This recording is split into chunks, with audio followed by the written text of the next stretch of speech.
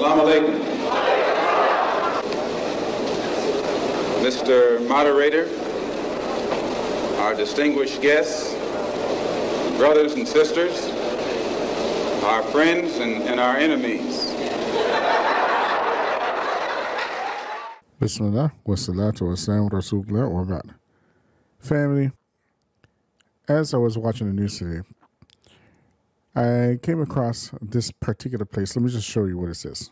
Israeli forces have killed at least 11 people, including five children, in strikes on the southern city of Rafah. Israel's repeatedly attacked the city ahead of an expected ground invasion.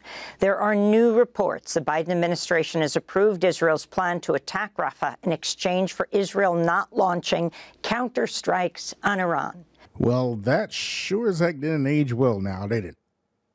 It did not age well. This is what's going on right now. Let me show you. All right, guys, we have major, major breaking news that just came out here. Now, I'm coming to you like within two minutes of seeing this. So the details right now are few and far between, but I'll tell you uh, what's floating out there in the ether. It is confirmed that Iran has directly, or excuse me, Israel has directly attacked Iran. Um, now, leading up to this, we all know the chain of events. You had Israel attack the Iranian consulate in Syria. They were trying to kill the person who was General Soleimani's replacement. Um, they succeeded in doing that. Now, understand that alone is a direct act of war. If you're bombing an Iranian consulate, that's the same as bombing Iranian soil. Um, so, in response to that, Iran launched an attack on Israel, but basically the point of the attack was more to serve as a warning because they gave everybody a lot of time to react. They, it was like two or three hours in advance they said they were going to do it. They purposely only picked military targets. The reporting is that the overwhelming majority of the missiles and the drones that they sent were shot out of the air because there was ample warning. So it was basically like, look, you attacked us. We have to save face here and respond. But it wasn't an actual attempt to do massive damage. So, in response to that, the basic, basically like virtue signaling fake attack, uh, Israel, of course, decided to unleash holy hell. So, um, what we have right now is that not only are there attacks in central Iran, there's also uh, potential attacks in Syria and Iraq as well. Uh, the particular place, this is what the rumor is at the moment, this is not confirmed yet, but um, that the attack in Iraq involved a, a high level meeting that included a lot of like Iranian Shia proxies, including some members of the Islamic Revolutionary Guard Corps, which is basically like some of the highest ranking officials of Iran in that meeting who were just targeted. So uh, Iran cleared their airspace when this attack happened. Again, this is all ongoing right now. Um, again, reports that the capital of Iraq, Baghdad, uh, was hit.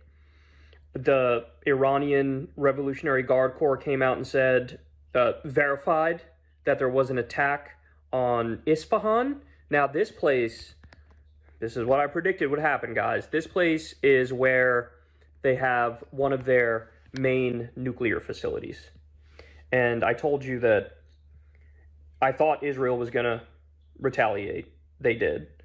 Um, and they targeted their main nuclear facility. Now, there's reports of uh, strikes elsewhere as well in Iran, so it could be multiple nuclear facilities. So everybody needs to understand we are in a treacherously dangerous moment right now. Now, for me, it's a real late night. I'm just putting this out because this is a breaking story and it's a very, very important story. But there's a couple of takeaways from this. Uh, first of all, once again, once again, we are right as usual when it comes to these treacherous white supremacists. Okay, they're willing to sign off on a genocide as long as the genociders that they love, who is their personal colonial, you know, project and there in Israel, do not retaliate against Iran because why? It has anything to do with human life or genocide or morality? No, these are not moral people. These, these are demons. They're straight up demons. They're devils. Okay. Why? Because they can't afford to, you know, have all the petrol prices jumping through the roof from a regional Middle Eastern war. They can't afford that. Not to mention that this will essentially bar travel to Saudi Arabia, who is now heavily invested in the politics of the United States and uh, several Western countries, but definitely the United States, which is why they're ver- pushing very, very hard to make business alliances with Jared Kushner. And, anyways, this is all a whole bunch of geopolitical mess going on all at the same time. But for sure, this is a major, major, major escalation in what's going on. I highly doubt that Iran will retaliate with this the type of soft retaliation, sending paper airplanes over the skies of Israel and calling it an airstrike. I think there's gonna there's gonna be some major stuff popping off.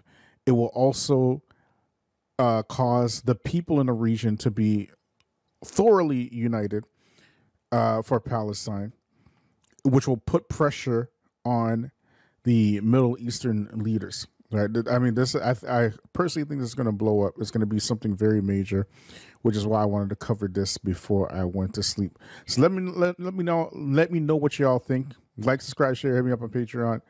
Assalamu alaikum wa rahmatullahi barakatuh. Paper gold. You see, black folks are chumps. If America were to tell you to bring all the rocks in this country to her, and she'll give you a million dollars for it, you'll do it. And the next day she'll tell you we're using rocks for currencies, chump.